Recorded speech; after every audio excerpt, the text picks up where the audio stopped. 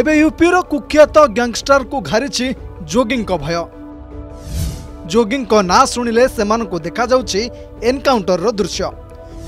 ମୁଖ୍ୟମନ୍ତ୍ରୀ ଯୋଗୀ ଆଦିତ୍ୟନାଥଙ୍କ ଭୟରେ ଆତ୍ମସମର୍ପଣ କରୁଛନ୍ତି ଜଣେ ପରେ ଜଣେ ମୋଷ୍ଟ ୱାଣ୍ଟେଡ୍।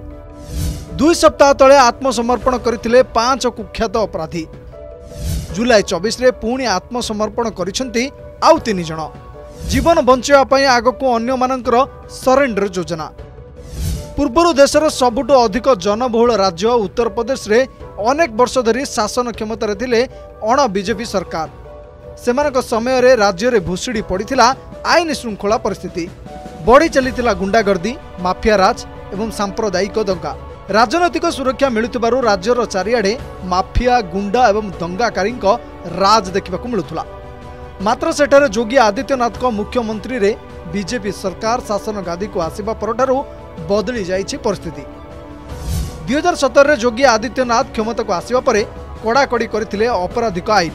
ମାଫିଆ ଗ୍ୟାଙ୍ଗଷ୍ଟରକୁ ଜଣାଇଥିଲେ ଚରମବାଣୀ ଭଲରେ ସରେଣ୍ଡର କର ନହେଲେ ପ୍ରସ୍ତୁତ ହୋଇଯାଅ ଏନ୍କାଉଣ୍ଟର ପାଇଁ।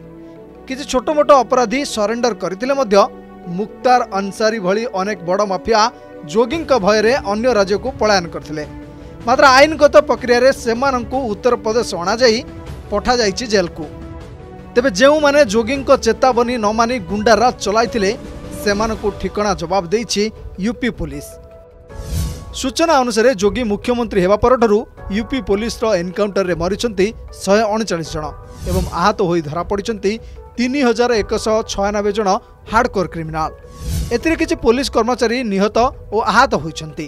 ତେବେ ଯୋଗୀଙ୍କ ଅପରାଧୀ ମୁକ୍ତ ଉତ୍ତରପ୍ରଦେଶ ଅଭିଯାନ ଏବେ ଆଗ ଅପେକ୍ଷା ଅଧିକ ଜୋର ଧରିଛି।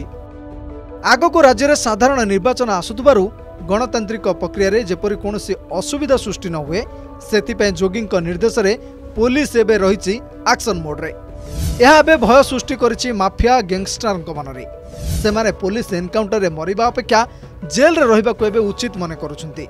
ଗତ ଦୁଇ ସପ୍ତାହ ତଳେ ପାଞ୍ଚ ଜଣ କୁଖ୍ୟାତ ଗ୍ୟାଙ୍ଗଷ୍ଟର ପୋଲିସ ନିକଟରେ ଆତ୍ମସମର୍ପଣ କରିଥିବା ବେଳେ ଜୁଲାଇ ଚବିଶ ତାରିଖ ଶନିବାର ଦିନ ପୁଣି ଆତ୍ମସମର୍ପଣ କରିଛନ୍ତି ଆଉ ତିନି ଜଣ କୁଖ୍ୟାତ ମାଫିଆ। ସେମାନେ ଏତେ ଭୟଭୀତ ହୋଇପଡ଼ିଥିଲେ ଯେ ଶହେ ମିଟର ଦୂରରୁ ନିଜର ହାତ ଟେକି ଥାନାକୁ ଆସୁଥିବାର ଦେଖାଯାଇଥିଲା।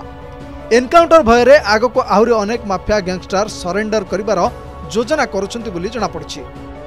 Bureau report Argus news.